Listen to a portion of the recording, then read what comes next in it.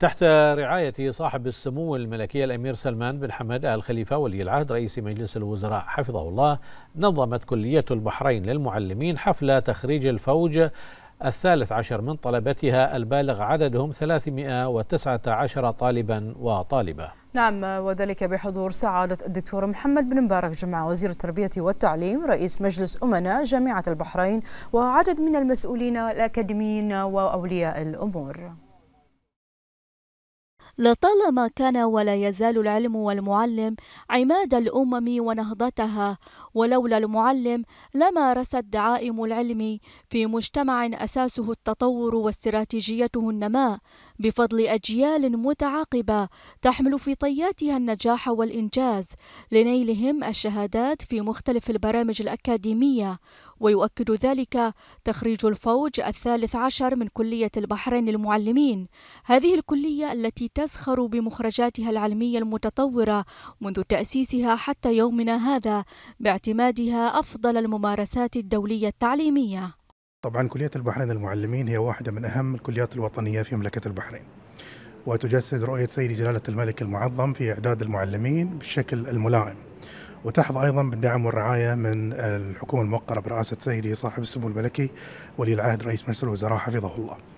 طبعا حفل التخرج اليوم يؤكد التزام الكلية والتزام جامعة البحرين بإعداد أفواج متوالية من المعلمين البحرينيين القادرين على الأداء الجيد لرسالة التعليم في الميدان التعليمي. واللافت طبعا من خلال مختلف الأفواج التي تخرجت من هذه الكلية المستويات المتقدمة للمعلمين وخصوصا في استراتيجيات التعليم والتعلم. وطبعا الكلية حرصت خلال الفترة الماضية على إبرام عدد من الشراكات مع كبرى المؤسسات التعليمية على مستوى العالم منها جامعة بوسطن.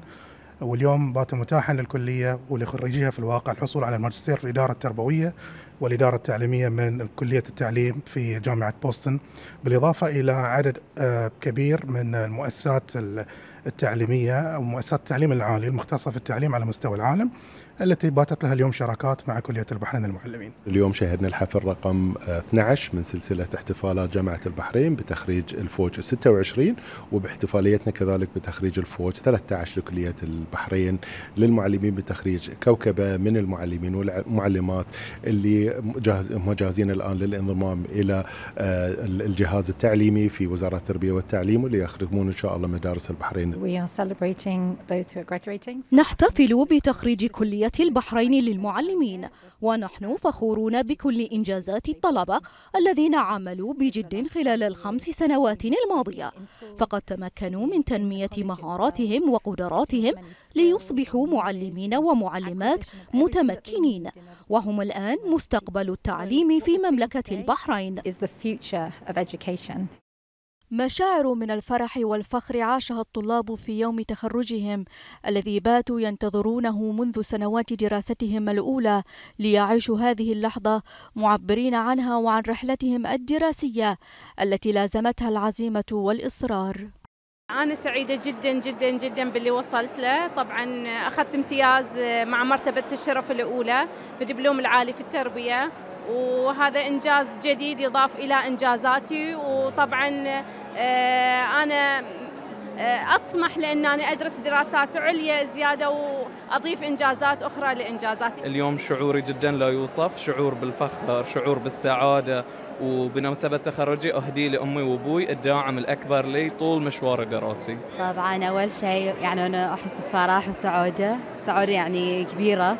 وايد مستمتعة بلد يعني وخصوصا بعدنا متخرجة من جامعة البحرين بالأخص كلية المعلمين وايد حوسة بفخر.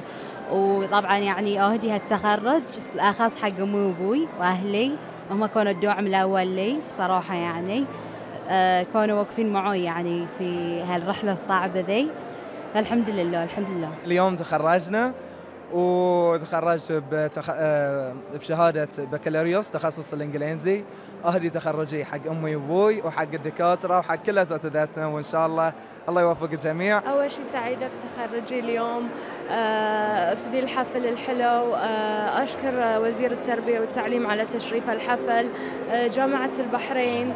وطبعا هذه كانت نقطة البداية حق إن إحنا نحقق إنجازاتنا. سعيدة جدا بتخرج اليوم. وصراحة شعور وايد حلو وإنك تحققين هدف من أهدافك وأهدي فرحتي وسعادتي حق والديني.